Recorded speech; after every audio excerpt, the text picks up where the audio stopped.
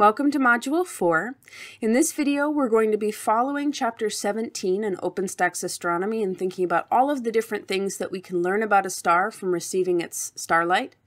We are going to be building off of a lot of the understanding that we originally laid out in Chapter 5 from OpenStax Astronomy that we covered in a Module 3 video. So let's get started. Now, the sun is the brightest star in our sky. It defines daytime and nighttime, whether it's above the horizon or below. Other things that appear very bright in our sky are solar system objects. The full moon is very eye-catching when it's in the sky. Venus and Jupiter are often uh, thought of accidentally as UFOs because they are so bright near the horizon when they are first rising or starting to set. And even Mars, um, at its brightest, can look quite, um, quite beautiful in our sky. So if we think about all of these solar system objects, especially the planets that are not making their own light, we start to recognize that we're talking about a brightness that is um, based on our perspective, not on some true actual brightness that these objects have. So we're going to start to distinguish two types of brightnesses, um, and we're going to introduce a scale, a unit that is used by astronomers for brightness. That's a little weird. Um, so the unit is a magnitude, and it is used for apparent brightness. So here we have apparent magnitudes. It is also used for absolute brightness. So we can also look up absolute magnitudes. Now, if we look at this scale, we'll see that on the left, where the brightest things are, like the sun, we see big negative numbers. And the dimmest things, including dimmer than the Hubble telescope can even see, have big positive numbers. So this scale works a little bit backwards, and that's worth putting into our notes and kind of having in our head somewhere if we start to use it on a project or a lab. The scale is based on ancient Greek scholar Hipparchus and his catalogs. He had different categories of stars, and the best and brightest stars in our sky were category one. Number one, they're the best. And the next brightest set of stars were category two, and he had six total categories. Modern astronomy has, has tried to kind of hold true to that goal, but there were a couple of issues. So, first, because Hipparchus ended at category 6, we have made sure that the scale matches that a magnitude of 6 is the faintest thing our eyes can see. There are fainter objects, but Hipparchus would not have known about them. But then when trying to fit the scale for bright objects in our sky at the highest end, a lot of these category 1 things were drastically different brightnesses compared to each other. So, for example, Sirius, the brightest star in the sky, was so much brighter than the star Betelgeuse, which was also considered a Category 1 star, that modern astronomy had to disentangle them and separate them out. And if we're already got um, smaller numbers is better, we have to go to zero and then to negative numbers. So that's what we got stuck with. Sirius is minus 2 in magnitude. And then the sun, the brightest star in our sky, is minus 26 in magnitude. Quite impressive. Now, um, besides this magnitude scale working backwards, it also is this kind of inherently complex scale to work with mathematically for um, our introductory astronomy because um, going from a 1 to a 2 is not doubling the brightness. It's more complicated than that. We're going to be seeing these magnitude numbers, but we're not going to work too closely with them um, when we can avoid it. So apparent magnitude is there to distinguish from a different type of brightness. So let's introduce that now. We have to make a really important distinction between apparent brightness, how bright something looks to us, from absolute brightness. So let's imagine that I had a 100 watt light bulb that I um, had plugged into a lamp and I was holding it right up to um, your face. It would be really bright and almost blinding, and you would ask me to stop. That same 100 watt light bulb, if I went all the way down to the other end of a hallway and held it up, you'd be like, eh, yeah, that's a light bulb, but it's not very impressive. The light bulb has a true brightness, an absolute brightness, that is that 100 watts written on it.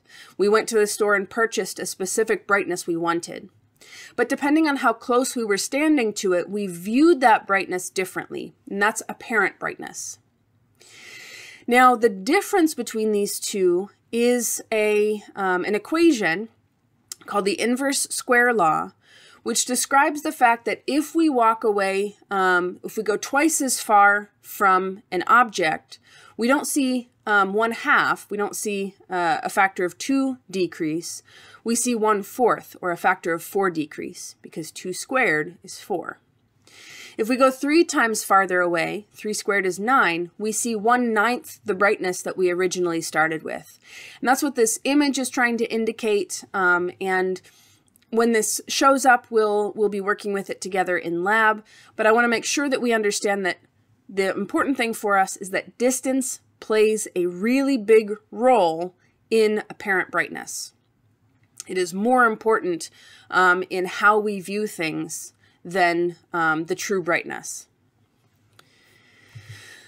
Now, the true brightness, the absolute brightness, that 100 watt written on the light bulb, is also referred to as luminosity. And that's going to be a term that we will be working with a lot more often because luminosity is a way for us to work with these brightness ideas without using the magnitude scale.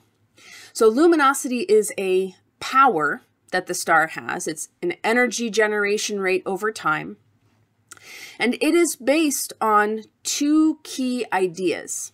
The 4 pi r squared is one of the key ideas. 4 pi r squared is how we describe the surface area of a sphere. So the luminosity cares about the surface area of the star. Bigger stars tend to be brighter stars. And then the other factor is the energy flux from blackbody radiation. And that's the sigma t to the fourth, where sigma is a constant that we can look up. We're not even going to put it on the slide. And the temperature is to the fourth power. So if something is twice as bright, uh, sorry, twice as hot, um, it will be 2 times 2 times 2 times 2. It will be 16 times more luminous if it is twice as hot. So hotter stars tend to be brighter. Now, when we get into complex ideas like we can have a cold big star or a small hot star, we would have to rely on this equation and thinking about just how much brighter or how much larger. But for now, if all else is equal, bigger is brighter, and if all else is equal, hotter is also brighter. All right. Now, we want to think a little bit about temperature and color. In Module 3, we discussed Wien's law, where the peak wavelength that we receive from the blackbody radiation curve, that um, spectral curve, is based entirely on the star's temperature. We had this color scale um, that we see now at the bottom of the slide. We saw that in a previous slide in Module 3, where cooler stars tend to look reddish or red-orange, hotter stars tend to look blue or blue-white. And when we look at this image here, where the colors have been kind of enhanced a little bit um, with, with Photoshop, although they are not fake colors, we can see that these really do show up when we have good viewing conditions. They really do show up as being visibly different. In the um, Orion constellation, Betelgeuse looks very red, Rigel looks very blue when you have really good sky conditions. So an easy way to kind of see that. Astronomers can be a lot more specific than thinking about reddish and bluish by using a color index, and that is described in our textbook, but it goes beyond the level of depth that we need for our introductory astronomy course. So I welcome you to uh, look into that more if you're interested.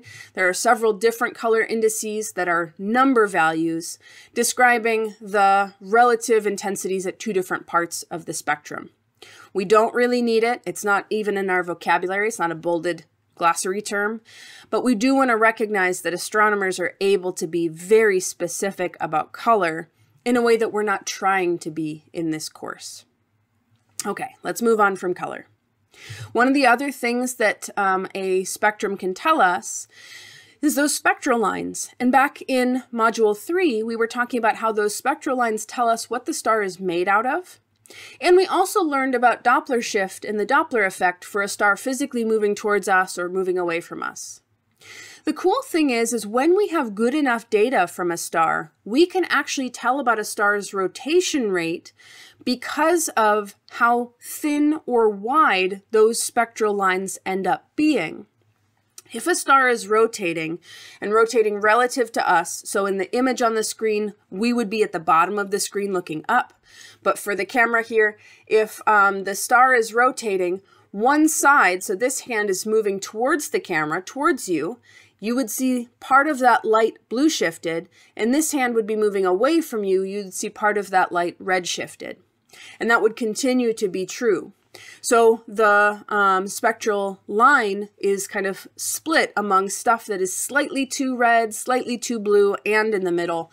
And it gets wider and shallower in a way that astronomers can then piece together what that rotation rate looks like. So a way to use the skills we already have. Now, the other big thing about paying attention to the spectral lines is um, a discovery made by uh, Williamina Fleming and Annie Jump Cannon, especially out of the group of women called the Harvard Computers, that certain stars seem to have specific patterns different than other stars. So let's take a step back briefly in time. The sun's spectral lines were first identified and recorded and published in 1814 a small handful of very clear, distinct lines in the sun's absorption spectrum. By the end of the 1800s, not only did we have these spectral lines for the sun, but we had it for a wide variety of other bright stars. And um, we had started to categorize stars based on which lines were more prominent, which ones were missing, and we kind of categorized them into different um, bins, into different types. So this work was being done primarily by the Harvard Computers, the nickname for the group of women who um, at the time were not allowed to get PhDs, um, but were allowed to do all of the difficult uh, analysis that the men astronomers didn't want to do. So they were the ones really making some of these breakthrough uh, analyses. Uh, and it is only recently that history has started to remember their names and their contributions. So Williamina Fleming originally put these different categories, just started with the beginning of the alphabet, A, B, C, D, all the way down to um, O and P, because all she had, Williamina Fleming, started with just the spectral lines themselves, no temperature information. So that project um, got put in place, and then several years later, Annie Jump Cannon took over that project and was given stars um, that also had follow-up information for their spectral curve to get that peak wavelength that we need for Wien's law to be able to determine the temperature. So then she took the categories that Williamina Fleming had um, created and arranged them by temperature. And in doing so, she had to combine some categories, uh, certainly rearrange the order of the alphabet.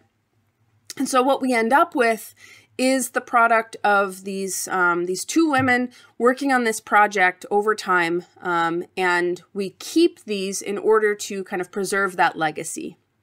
So the uh, numbers, the sorry, the letters in order are O, B, A, F, G, K, M. You can see on the left some of these numbers attached to it to tell you where in the category it is. Those are spectral types. And you can start to see different patterns. So for example, in the, um, in the dark blue, A and B stars, which were next to each other in the original order, do seem to have a lot in common for which lines are present and which ones are missing. But F also seems to have some of these lines, especially in the blue and the teal, that continue down until they fade away by the time we get to G and K stars. Uh, and so you can start to see some of the patterns that maybe Williamina Fleming was originally picking up on. When we look at these types of stars, we want to recognize a couple of things. First, this class is not about memorization, but we are going to often refer to the outside um, ends as shorthand for really hot stars or really cold stars.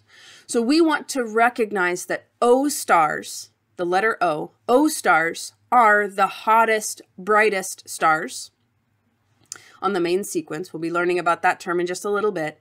And M stars are the coldest stars. And when we're talking about stars living their normal lifetime, they are also the smallest. The sun is kind of right in the middle. It's a G2 star. So it is one of these kind of middling temperatures. uh, and it has certain features that we do see for our own sun. Our sun is just a typical star in its category, in its spectral type. Now, these stars here shown with color and size are all comparing stars that are currently turning hydrogen into helium in their cores through fusion. We learned about fusion quite recently. These are all stars that are living the normal part of their lifetimes because there are other types of stars, other types of um, stellar objects that we aren't going to be um, comparing when we have these this size information too. Now, OBAFGKM, these uh, letters lasted for a uh, hundred years and every new discovery could be put into one of these bins. But I want you to stop and think for a little bit. Reflect on what we've been learning in this module, reflect on what we were learning in the last module, all of these tools that astronomers have. If we needed to define brand new categories, where would it be most likely that we're finding new objects? If you need some direction, think about is it likely that it would be objects that are hotter and bigger than O stars? Would it be objects that are colder and smaller than M stars? Or would we have to find something in the middle that we just haven't um, properly identified? So think through that question for a little bit, decide where new categories would most likely be needed.